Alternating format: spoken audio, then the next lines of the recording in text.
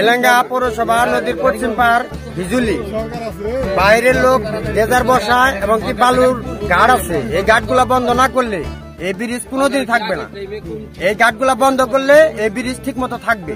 না হলে যারা করে ব্যবসা, তারা কোনোদিন এখানে দুর্ভোগ পাওয়া হয় না। আমাদের আমরা পশ্চিম এলাকার লোক, সম্পন্ন আমরা এই আজকে দুর্ভিক্ষের কবলে পড়ছি তাগরের কারণে। তারা এদিকে ঘাট খোলা রাখে, বালু বেচে সারা বছর, বর্ষা সিজন সারা বন্ধ করে না? প্রশাসন আসে টাকা নিয়ে জায়গা। তারা কোনোদিন আর আর একদিন বন্ধ করে তার দুই দিন পরে আবার রাইতে চালায় নাহলে দিনে চালায়। মানে ঘাট বন্ধ থাকে না? গাট বন্ধ থাকে না। ওই যে সময় হয় তখন বন্ধ থাকে। আমরা মেলা দেখলাম বেকু টেকু মেলা ডেজার মেজার পুরা দিল আবার ঠিকই চলে। একদিন বন্ধ থাকে তারপর আবার একদিন বন্ধ থাকে দুই দিন বন্ধ থাকে আবার ঠিকঠাক করে আবার ঠিকই চলে। রাইতে চলে নাহলে দিনে চলে। ওরা তারা ব্যবসা করে তারা পুলিশের সাথে তারাই ভালো জানে কি করে না করে। যখন আহে পুলিশ তখন আমরা দেই বন্ধ। একদিন থাকে বন্ধ দুই দিন বন্ধ থাকে তারপরে আবার চালু।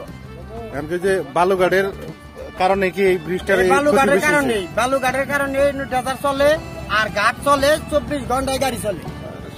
লোড মাটির লোড গাড়ি বর্ষা সিজনও চলে অন্য সিজনও চলে।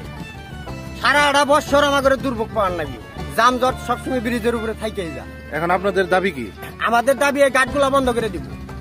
সরকারের কাছে আমাদের দাবি, এই ঘাটগুলা বন্ধ করে দিব। আইন প্রশাসনের লোকে। ঘাটটা বন্ধ করে দিব, এই রাস্তাটা উন্মুক্ত থাকবে।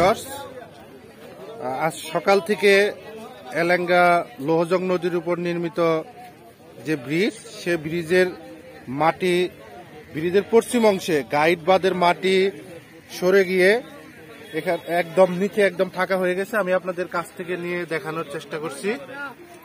আর এটা শুধু সামনে যে সোলিং সেটা শুধু কিন্তু এখানে কিন্তু কোনো রড টড দেওয়া নাই, সলিং কিন্তু এমনি রয়েছে।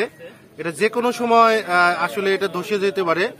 আর এটা যদি ভেঙে যায়, তাহলে কিন্তু তখন আরও বড় ধরনের একটা দুর্ঘটনার ঘটার আশঙ্কা রয়েছে। কারণ মানুষ যেভাবে এটার উপর দিয়ে চলাচল করছে, আপনারা দেখতেই পাচ্ছেন যে মানুষ কিন্তু সচেতন না।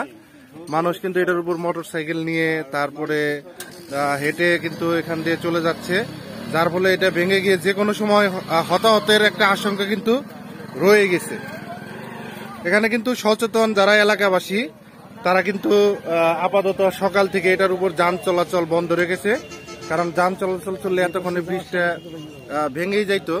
তো এখনও ব্রিজটা রয়েছে। তারা কর্তৃপক্ষের কাছে দাবি জানিয়েছে যে যাতে ব্রিজটা যাতে দ্রুত সংস্কার করা হয়।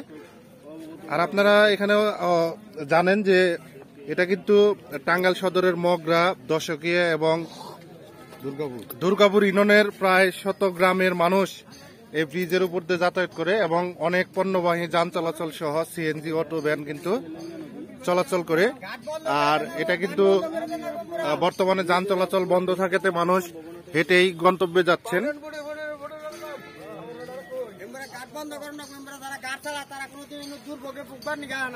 অনেক অনেক ভোগান্তি রয়েছে মানুষের। যারা ঘাট চালা তা করে